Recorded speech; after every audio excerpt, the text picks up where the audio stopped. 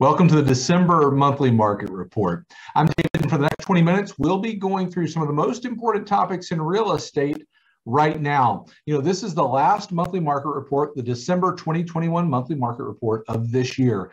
And I want to say quickly just a, a thank you to all of you that watch the monthly market report uh, each month so that you are the most educated advisor on these topics in the market that you serve.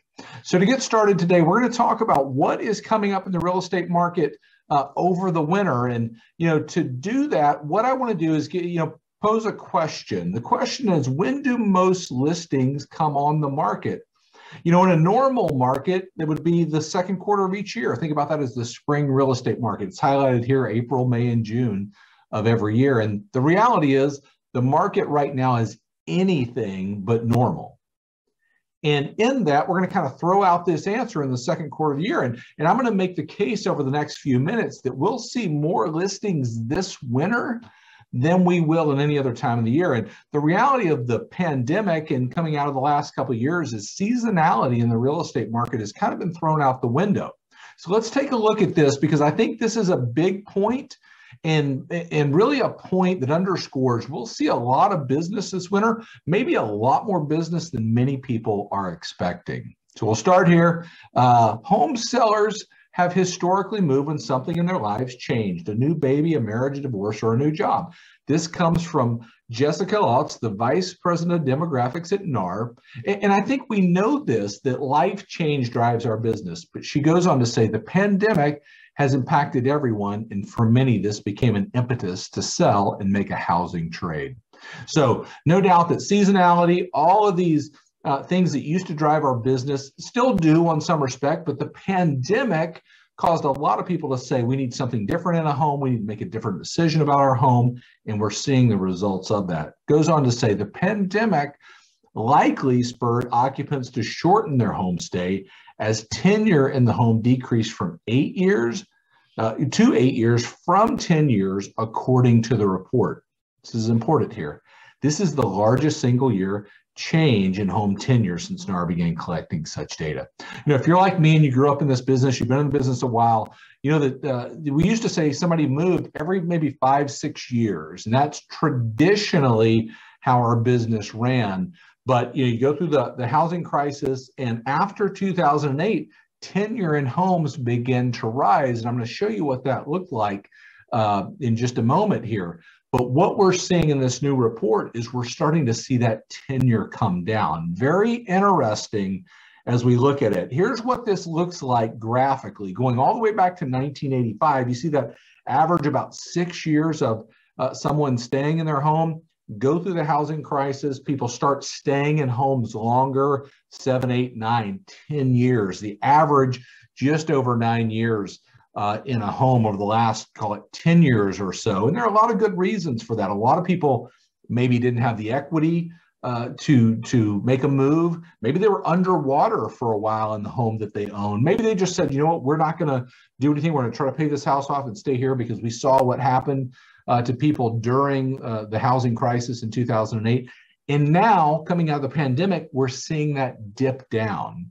Now, I'm certainly not saying that one year would make a trend by any stretch of the imagination, but I think we can say there represents pent up seller demand in all those years that folks have stayed in their homes. We can say the meaning of home has dramatically changed. We can say there's more equity in homes today than there has been ever before all of this leading to many people thinking is now the time to make a move. I do believe we'll start to see that in the winter. Let's take a look at what uh, George Ratiu at Realtor.com says. He said the pandemic has delayed plans for many Americans and homeowners looking to move on to the next stage of life, and that's no exception. Recent survey data suggests the majority of prospective sellers are actively preparing to enter the market this winter. So going back, a lot of reasons we just talked about folks thinking about moving. This study saying we're seeing a lot of those people preparing to enter the market this winter. In that study, 65% said they have either just listed or plan to this winter. 93% say they've already taken the steps towards listing their home, including working with an agent.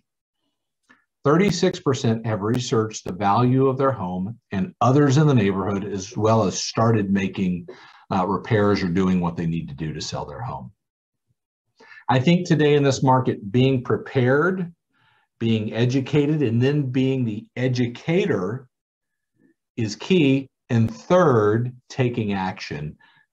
Based on this information, my challenge to you is over the next few weeks, what are you going to do with it? We'll likely see more people than uh, you know we've seen in a long time over the next few weeks as we head into the holiday season and the end of the year. And at the end of this monthly market report, I'm going to talk about what we need to have on our phones during that time to show people what's happening in real estate.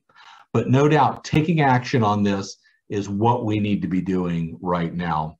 I'll, I'll wrap this up with this. Danielle Hale says this listings rose now for a second week in a row with our recent survey data suggesting that a growing share of homeowners and potential sellers are eager to find new homes. There's reason to believe this is the start of a welcome trend, especially as we move into colder months. You know, as we look into the winter, I think we're going to see more activity among sellers and among buyers than we've seen in quite some time. And, and if we go back to what we were talking about on the, the, the front end of the monthly market report today, seasonality has been thrown out of uh, the window in our business coming through the pandemic. We've had two phenomenal years uh, in real estate. I expect a, another great year next year, but I think we're going to see a lot of business over the winter. And my aim today is to prepare you for that so you can go out and serve your clients and be ready for that. You and your team be ready for that, um, uh, that, that rush of business. Let's talk just a minute about interest rates. Probably one of the biggest uh, updates or you know topics that's going to be talked about as we go into the new year. What's going on with interest rates? You know, the overall outlook is interest rates are going to rise. I'll talk about that, but this is a look right now at the 30-year fix. We've used this many times over the last couple of years because you know we look at January 2020 prior to the pandemic, knocking on the door of four percent. Right now, the average 30-year fixed is 3.1 percent. You know, many calling for that rise going into next year. I'll show you what forecasters are saying. But if you were to ask me what's going to happen with interest rates, I think we're going to go back to where we were. This is a historical perspective on interest rates, you know, looking at 2016, 17, 18, 19, four really, I'm going to call them normal years in real estate. And we bounced somewhere between three and a half and 5%. I think we're heading back there.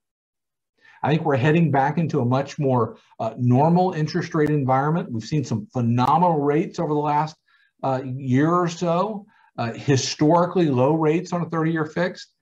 And I think we're going to head back into a time where we were prior to the pandemic.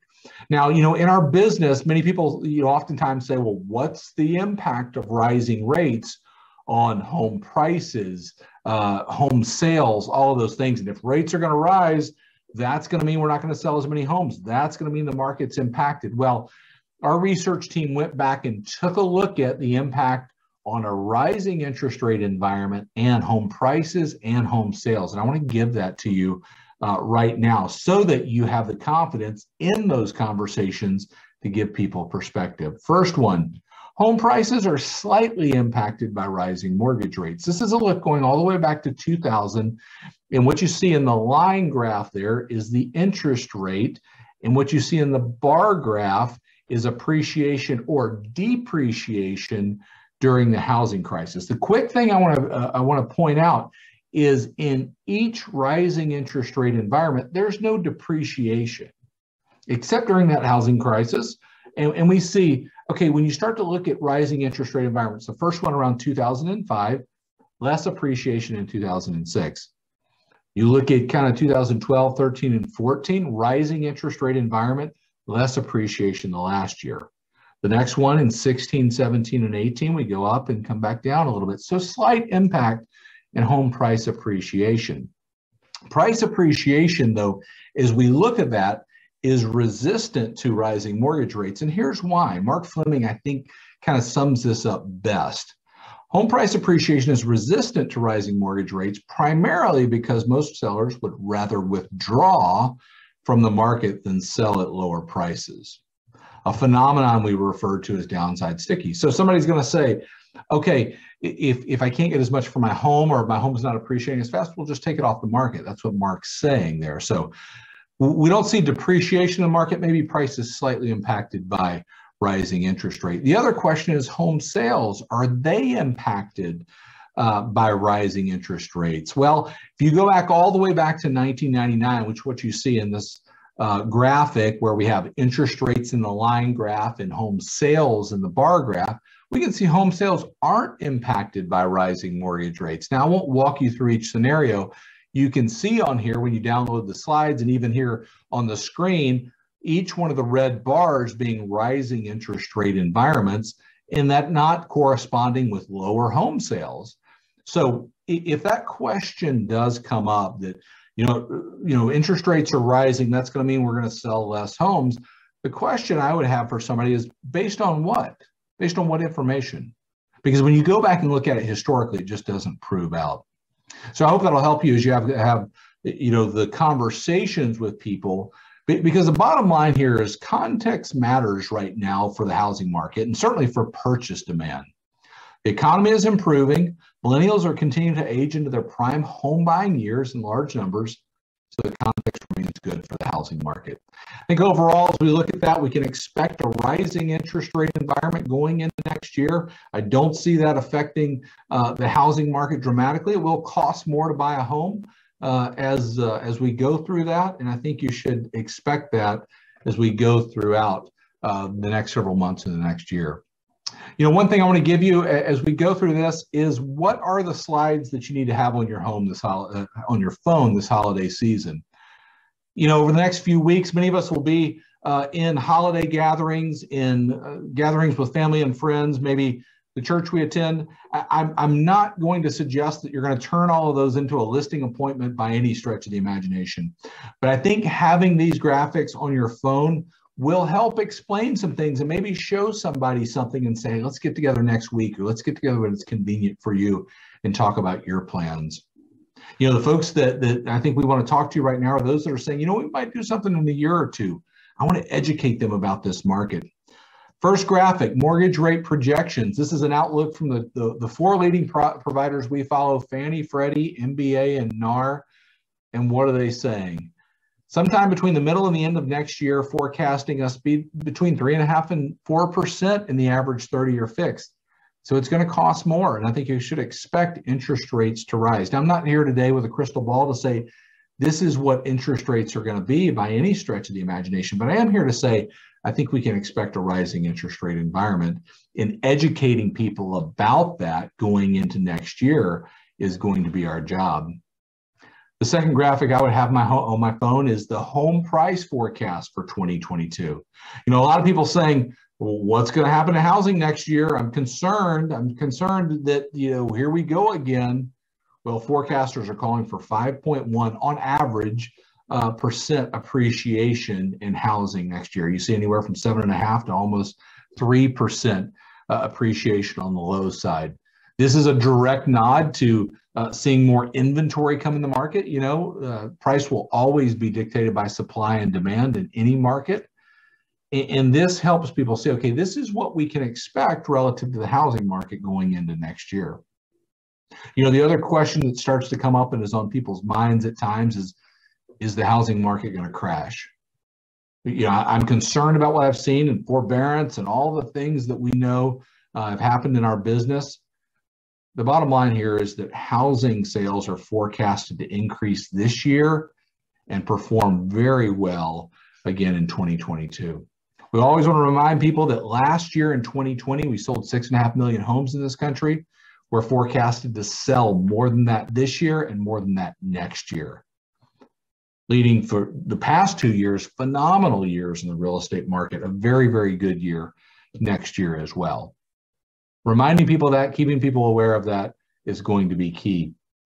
This slide here always does a great job to show just where we're at in the real estate market based on months of inventory and, and, the extreme sellers market that we're in. Thinking about selling your home, there's literally never been a better time. And sometimes that feels like a broken record uh, in us saying, and I know certainly all of you out there that are working with uh, with sellers and those thinking about selling have said that many, many times. This graphic just underscores it. Underscores going all the way back to 1999. What does the market look like? And it's been a great seller's market for those that have decided to sell. You know, the last question that I'll, I'll kind of kind of address on these slides you need to have on your phone is the buyer that says, I don't know if I want to buy at the top of the market, which, you know, you look at price appreciation, certainly not the top of the market, but that is a feeling. The buyer that says, you know what, if we sell, we're going to have to pay more for another home is what's forecasted for appreciation. You know, the best time to buy a, a home was this year. The next best time is right now. It's a survey done by the Home Price Expectation Survey. Based on this year, all the right way through 2026, buying a home, average price home, what appreciation is at stake?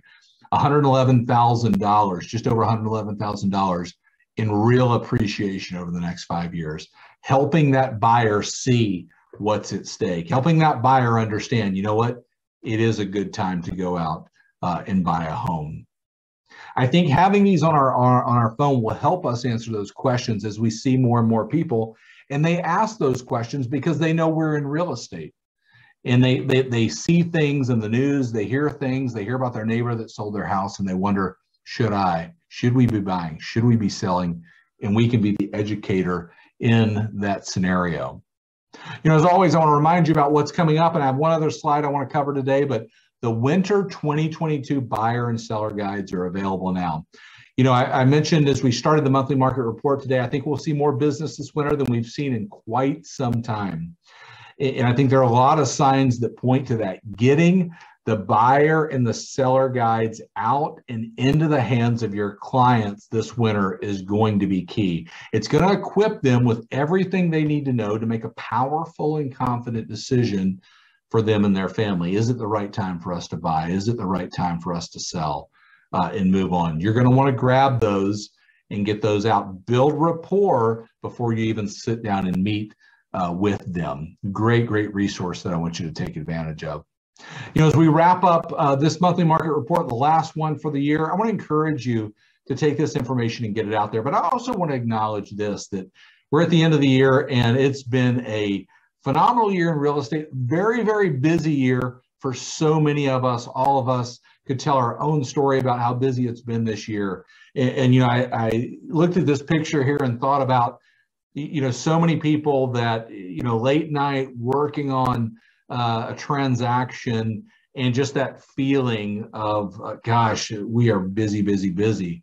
Take the time uh, over the next few weeks to to rest uh, with your family and friends. Don't take all the uh, all the time but but take the time you need to rest and relax with your friends. Sure James Dyson said this the moment you feel most tired is the moment you must accelerate because that's when everybody else is feeling tired as well but if you can break through that pain barrier, you can achieve great things.